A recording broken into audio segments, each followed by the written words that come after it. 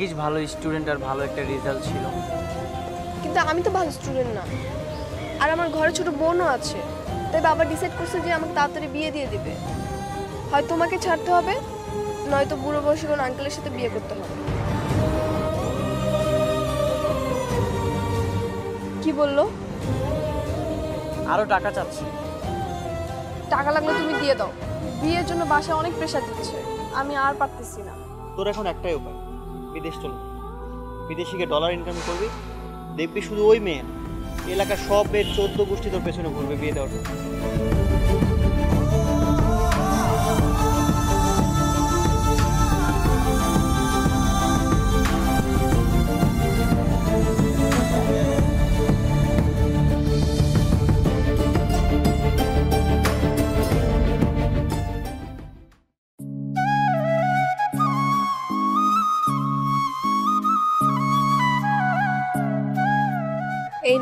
তোমার পছন্দের রুটি আর গরু মাংসের ঝোল।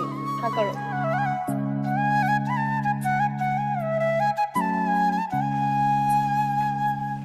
তোমার হাতে গরু মাংসের ঝোল যেন অমৃত। বিয়ের পর যখন তুমি রান্না করবে আমি আগে থেকে প্লেট নিয়ে বসে থাকব। কখন তোমার রান্না শেষ হবে আর আমি মজার মজার খাবার খাব? আর বিয়ে। এভাবে বলছো কেন? আমার বাবা আমার জন্য রোজ ছেলে দেখা শুরু করেছে। মনে হয় না বিয়েটা আটকাতে পারব। তুমি প্লিজ কিছু একটা ব্যবস্থা করো। তুমি তো জানো, আমি আমার ছোটবেলায় আমার বাবাকে হারিয়েছি। আমাদের গ্রামে যে কৃষি জমিটা ছিল, সেটাও বর্গা দেওয়া। আর আমার পড়াশোনার যে খরচটা আসে আমার মা দর্জির কাজ করে দেয়। তুমি জানো, আমার কলেজ টিচার আমাকে কি বলে? আমি নাকি বড় হয়ে ডক্টর ইঞ্জিনিয়ার হব। ভাগ্যিস ভালো স্টুডেন্ট আর ভালো একটা রেজাল্ট ছিল। কিন্তু আমি তো মাত্র এইচএসসি পাস করলাম। আমার প্রতিষ্ঠিত হতে আরও সময় লাগবে। প্লিজ তুমি আমাকে একটু সময় দাও। কিন্তু আমি তো ভালো স্টুডেন্ট না। আর আমার ঘরে ছোট বোনও আছে। তাই বাবা ডিসাইড করছে যে আমাকে তাড়াতাড়ি বিয়ে দিয়ে দিবে। হয় তোমাকে ছাড়তে হবে নয়তো বুড়ো বয়সী কোনো আঙ্কেলের সাথে বিয়ে করতে হবে। কিন্তু আমি সেটা পারব না।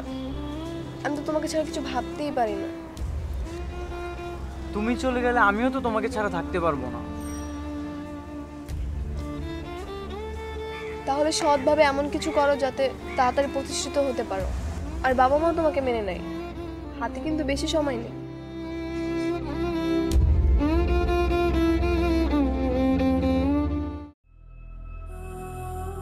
তোর এখন একটাই উপায়। বিদেশ চলে। বিদেশে গিয়ে ডলার ইনকাম করবি দেখবি শুধু ওই মেয়ে। এলাকার সব মেয়ের চোদ্দ গোষ্ঠী তোর পেছনে ঘুরবে বিয়ে দেওয়ার জন্য।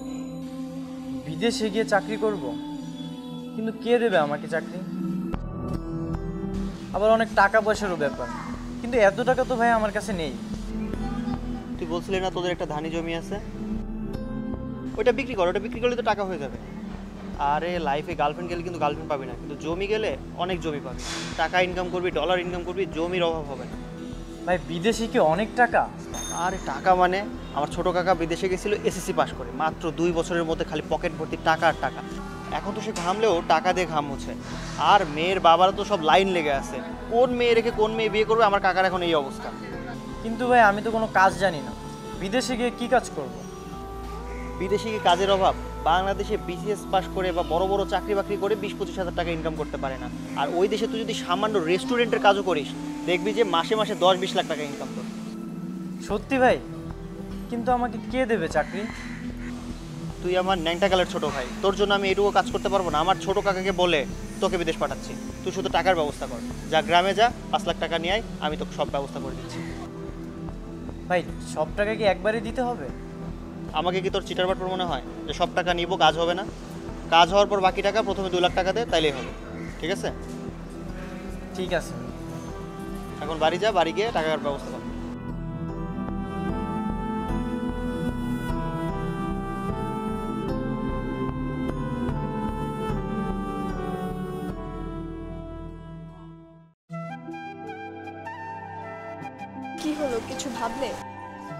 হ্যাঁ ভেবেছি। সব ব্যবস্থা হয়েও গেছে। তুমি কোনো টেনশন করো না, আমি বিদেশে যাচ্ছি। জাকির ভাই আমার সব ব্যবস্থা করে দিচ্ছে। বিদেশ থেকে যখন দুই বছর পর দেশে ফিরবো, তখন আমি অনেক টাকার মালিক হয়ে যাব। আর তারপর দেশে ফিরে এসেই আমার বাবার কাছে আমাদের বিয়ের প্রস্তাব নিয়ে যাব। সত্যি? ঠিক আছে। তাহলে যেভাবেই হোক, এই দু বছর তোমার জন্য আমি ওয়েট করব। তুমি কোনো টেনশন করো না। তুমি তাড়াতাড়ি বিদেশে চলে যাও। হ্যাঁ চেষ্টা তো করছি যত দ্রুত সম্ভব বিদেশে চলে যাওয়া এখন পাসপোর্ট আর ভিসার কাজটা হলেই হয়। মাকে বলেছি, মা আমাদের জমিটাও বিক্রি করে দিয়েছে। জানো, মা অনেক খুশি হয়েছে। আমি বিদেশে যাব, অনেক ইনকাম করব। আশা তো আছে দেশে ফিরে এসে বাড়ি গাড়ি করব, তোমাকে বিয়ে করব। তোমাকে নিয়ে আমার কত স্বপ্ন, সেগুলো পূরণ করব। কি সুন্দর একটা সুখী পরিবার হবে আমাদের। যাক, আলহামদুলিল্লাহ। এবার আমার অনেক শান্তি লাগছে। আচ্ছা শোনো আজকে রাতেই আমি গ্রামে যাচ্ছি। পাসপোর্ট আর ভিসার কাজটা হয়ে গেলেই আমি বিদেশে চলে যাব। বিদেশে যে আমাকে ভুলে যাবে না তো? কি যে বলো তোমার জন্যই তো যাচ্ছি। চল আজকে আমি সারাদিন ঘুরবো। চল। ভাই অনেক কষ্ট করে জমিটা বিক্রি করে টাকাটা এনেছি। তো হাতে রেখেছিস কেন? দে। পুরো পাঁচ লাখ আছে তো। ভাই আপনি না বললেন প্রথমে দুই লাখ টাকা দিতে হবে? ও তাই বলছিলাম? হ্যাঁ আমিও সলিড লোক আমার কাকাও সলিড লোক। এই জন্য পুরো টাকা না নিয়ে অর্ধেক টাকা নিলাম। এখানে ভুয়া দালাল হলে পুরো পাঁচ লাখ নিয়ে খেয়ে দিত।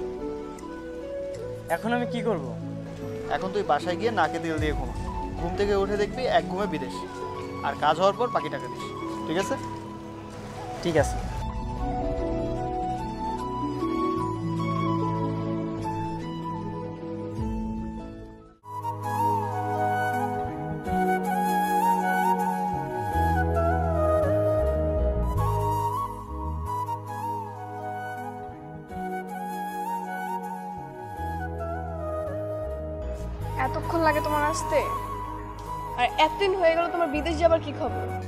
ভার্সিটিতেও তো অ্যাডমিশন নিলে না।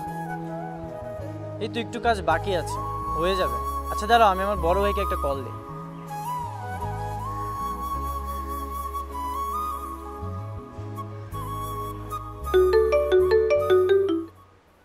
হ্যাঁ হ্যাঁ ভাইয়া আমার বিদেশ যাবার কি হলো? আরে মিরাজ একটা তো ঝামেলা হয়ে গেছে। তুই যে দু লাখ টাকা দিছিলি ওই দু লাখ টাকায় তো কাজ হচ্ছে না। ও দেশের সরকার মানতেছে না।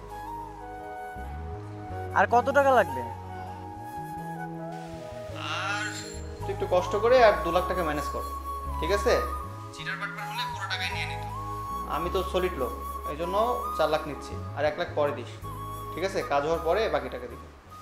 আচ্ছা ঠিক আছে ভাই আজকে আমি বিকালের মধ্যে আপনার বাকি টাকাটা দিয়ে দিচ্ছি। ভাই প্লিজ একটু তাড়াতাড়ি কইরেন। আচ্ছা আচ্ছা ঠিক আছে।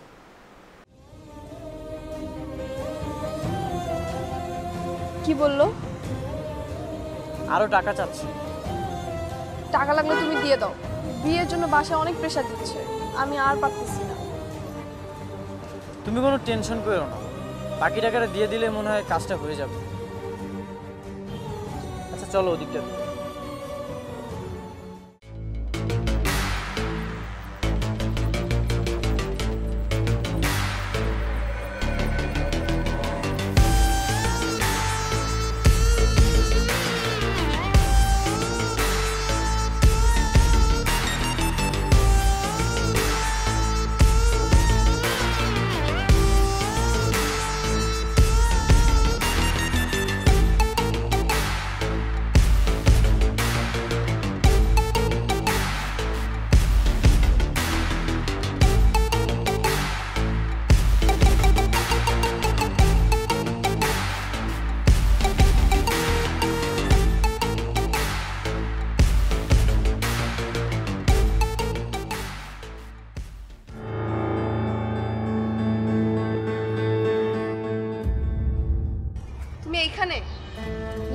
সপ্তাহ ধরে তোমাকে আমি কত খুঁজেছি।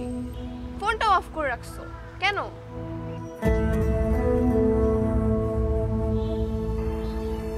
তুমি কাঁদছো? কি হয়েছে?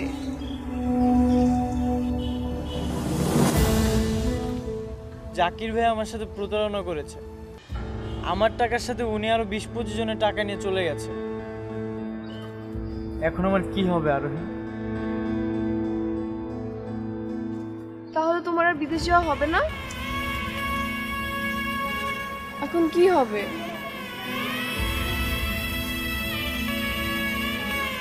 সব না আমার জন্যই হয়েছে।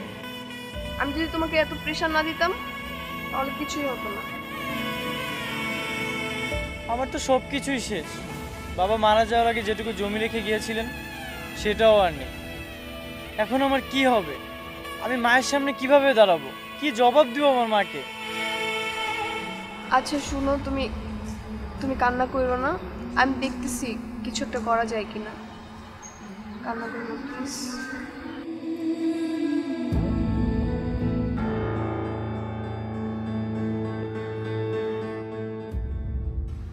আমি আরোহীর মামা। তুমি আসার আগে আরোহী আমাকে ফোন করে সব কিছু বলেছে। আসলে দেশটা চিটার ব্যাপারে ভরে গেছে বুঝছ? কাউকে বিশ্বাস করা খুবই কষ্টকর। আমার আর কোনো উপায়ও নেই। পাঁচ লাখ টাকা জামানত করেছিলাম এর মধ্যে থেকে চার লাখ টাকায় হারিয়েছি। শেষ সম্বল আর এক লাখ টাকা আছে। সমস্যা নেই এক লাখ টাকাই হবে। আমার ফ্রেন্ড দেশের বাইরে থেকে আমি ওকে বলে তোমাকে দেশের বাড়ি পাঠানোর ব্যবস্থা করছি। সত্যি বলছেন? হুম সত্যি। তুমি এক কাজ করো তুমি গ্রামে যাও গ্রামে যেয়ে তোমার ফ্যামিলির কাছ থেকে বিদায় নিয়ে আসো। আমি এদিকে সব ভিসা প্রসেসে সব কিছু কমপ্লিট তোমার মামা অনেক ভালো মানুষ। আমি এক প্রতারকের ফাঁদে পা দিয়েছিলাম। কেন যে ভালো মানুষটাকে আগে পাইনি? আরে আগে তো জানতাম না যে মামার বন্ধু এত ভালো সুযোগ দিতে পারবে। আর যখন জানতে পারলাম তখন অনেক দেরি হয়ে গেল। না না বেশি দেরি হয়নি। আমি আগামী সপ্তাহে বিদেশে চলে যাচ্ছি। আমার সব কিছু ঠিকঠাক। তুমি একদমই চিন্তা করো না। আমি বিদেশে যেয়ে অনেক ইনকাম করব। আর বড় হয়ে এসে তোমার বাবার সামনে আসব। ঠিক আছে। নিজের যত্ন নিবা ঠিক মতো নামাজ কালাম পড়বা। ঠিক আছে? আর আমার জন্য দোয়া করবে। ঠিক আছে।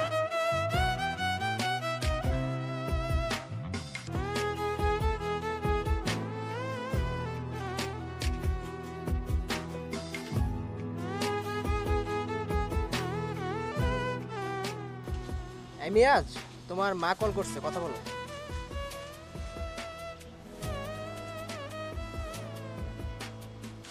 হ্যাঁ মা। কি রে মিরাজ কেমন আছিস বাবা? এই তো মা ভালো আছি। তুমি কেমন আছো? তোর ভাই বোনদের স্কুলের বেতন দিতে হবে। ভাবলাম এবার ঘরটা ভেঙে টিনের নতুন ঘর দিব। তোর আবার নতুন বউ আসবে ঘরে। ঘর সারতে হবে তো। হ্যাঁ মা। আমি টাকা পাঠাবো কিছুদিনের মধ্যেই। তুমি আস্তে আস্তে সব করে নিও।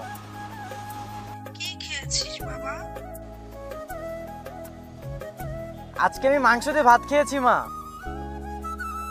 তোমার হাতের খাবার অনেক মিস করি। পাগল ছেলে থাক বাবা ভালো থাক সুখে থাক আর জলদি দেশে আসবি। কি হয়েছে মিরাজ?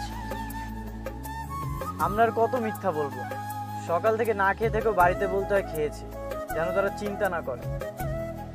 দেশে রিক্সা চালালেও তো মাতৃভাষাতে প্যাসেঞ্জারের সাথে কথা বলা যায়। কিন্তু এদেশে গল্প করার মতো কোনো মানুষই নেই। কত স্বপ্ন নিয়ে এসেছিলাম এই দেশে। কিন্তু আমাদের কষ্ট আমাদের মধ্যেই লুকাইতে থাকে। তারপরে তো তোমার মনে শান্তি আছে দেশে ফিরে মনের মানুষকে বিয়ে করবে। কি জানি ভাই কপালে কি আছে। অনেক দিন হলো তার সাথে কথা হয় না। জানি না কীভাবে আমার অপেক্ষায় দিন কাটাচ্ছে। আমি তো দেশে ফিরতেই চাই। আমার এখনও স্বাবলম্বী হতে অনেক সময় লাগবে। কেন? তোমার সাথে কথা হয় না? ওর নাম্বারটা বন্ধ। আর আমার বন্ধু জানালো ওনাকে অনেক পড়াশোনা নিয়ে ব্যস্ত। আমাকে অনেক মিস করে। এখন আর ওর বাবা ওকে ফোন ব্যবহার করতে দেয় তুমি ওকে খুব ভালোবাসো তাই না? হ্যাঁ আমি আমার জীবনের থেকেও বেশি ভালোবাসি। এই প্রবাস জীবনে ওর জন্যই আমি এসেছি। এই প্রথম প্রবাস জীবনে এসে অনেক খারাপ পরিস্থিতির সম্মুখীন হয়েছে। তবুও কষ্ট হয়নি ওর ভালোবাসার কথা ভেবে। আমি ওকে অনেক ভালোবাসি। আচ্ছা চিন্তা করো না। একদিন সব কিছু ঠিক হয়ে যাবে। আর এখন মোবাইলটা দিয়ে কাজ করো, নইলে টাকলা বসে সে বকাঝকা করবে।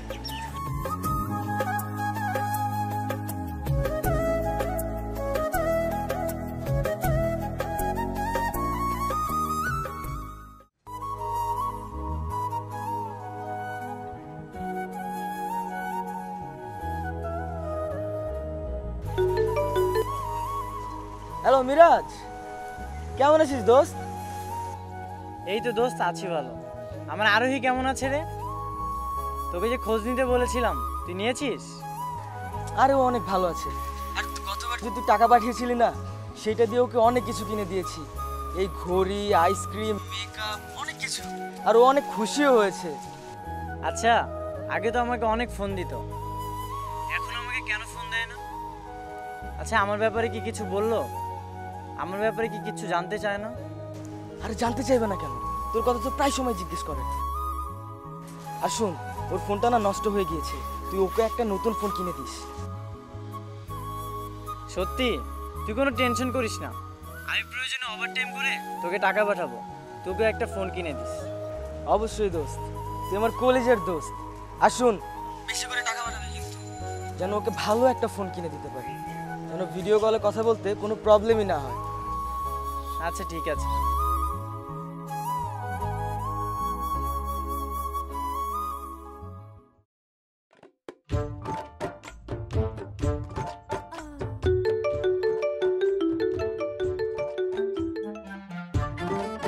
হ্যালো হ্যালো রিয়া কেমন আছো? এই তো ভালো আছি।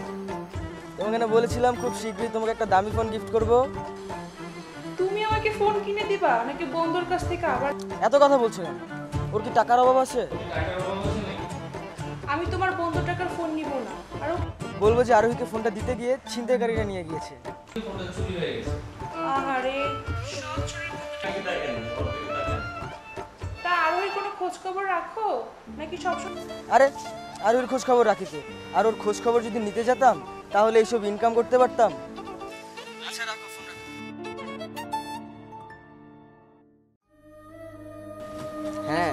চলে আসব কিছুদিনের মধ্যেই মাহিন ভাই আমার তো টিকিট হয়ে গেছে। খুব শীঘ্রই আমি দেশে ফিরে যাচ্ছি। অনেক দিন পর আমার মাকে দেখব আলহিকে দেখব। বলো কি এটা তো খুশি সংবাদ। আমার টিকিটটা যে কবে হবে কতদিন পরিবারকে দেখি না। কষ্টে বুকটা ফেটে যায়। দেশে গেলেই সবাই হুমড়ি খেয়ে পড়ে কার জন্য কি আনলাম? আর জিজ্ঞেস করে আবার কবে যাব? আত্মীয় স্বজনদের কত না কত আবদার। সবাই টাকা ধার চায়। সেই বয়ে দেশেই যাই না। হ্যাঁ ভাই, বিদেশ জীবন অনেক কষ্টের। মনটা সারাক্ষণ দেশে পড়ে থাকে। দোয়া করো, আমি আমার আরোহীকে নিয়ে যেন সুখে থাকতে পারি। আমি আমার আরোহীর জন্য অনেক কিছু কিনেছি। সাবান, শ্যাম্পু, জামা, একজোড়া স্বর্ণের চুড়িও কিনেছি। নিজে না খেয়ে গার্লফ্রেন্ডের জন্য এত কিছু? সত্যি ভাই তুমি একজন প্রেমিক পুরুষ। ঠিক আছে তাহলে ভাই যাই।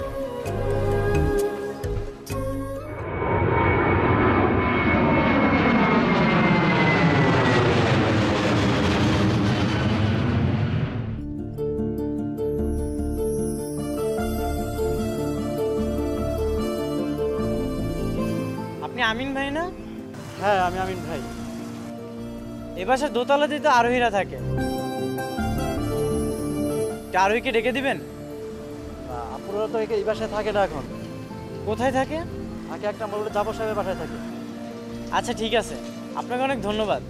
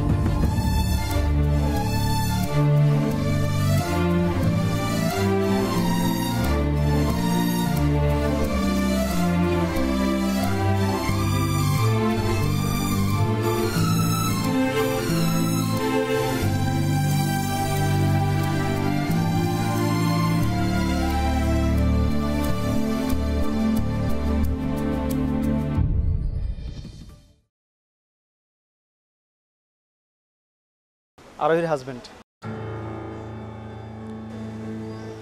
আমি জানতাম, একদিন আমাকে এদিনের সম্মুখীন হতে হবে। কিন্তু কিছু করার নেই মিরাজ, শান্ত হও। মামা, ও আমাকে বিদেশে পাঠালো। আমি ওর জন্য বিদেশে গেলাম, কিন্তু ও আমার জন্য ওয়েট করল না। আমি ওর জন্য এত বছর ধরে ওয়েট করলাম। আর ও বিয়ে করে নিল। এক- একটাবার আমার কথা ভাবলো না। আসলে সেদিন তুমি যা জানতে ওটা ভুল ছিল। আর তোমাকে এক লক্ষ টাকাতে বিদেশ পাঠিয়েছিলাম ওটাও ভুল ছিল। তোমার বিদেশ যেতে খরচ হয়েছিল টোটাল পাঁচ লক্ষ টাকা বাকি চার লাখ টাকা আরোই তোমাকে দিয়েছিল। আরোহী দিয়েছিল? মানে?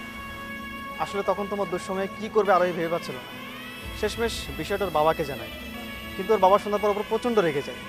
কি করবে? এদিকে ওর বাবা ওকে বিয়ে দেওয়ার জন্য জোর জবরদস্তি শুরু করে। শেষমেশ একটা শর্তে আরোই রাজি হয়ে যায়। কি শর্ত?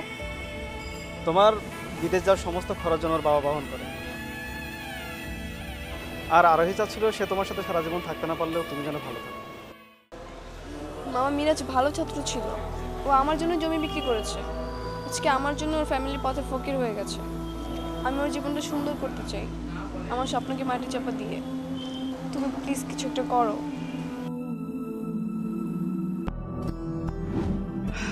বাস্তবতা মেনে নাও মিরাজ। তুমি গ্রামে ফিরে যাও। তোমার মায়ের কাছে যাও।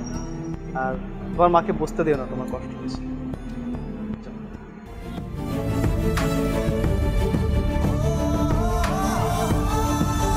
এভাবে অনেক মানুষের জীবনেই ঘটে যায় নানান অঘটন বাস্তবতা মেনে নিয়ে মিরাজরা আবার হাসি মুখে পথ চলতে শুরু করে। কিন্তু হৃদয় ভেজা থাকে ভেতরে চাপা কান্নায়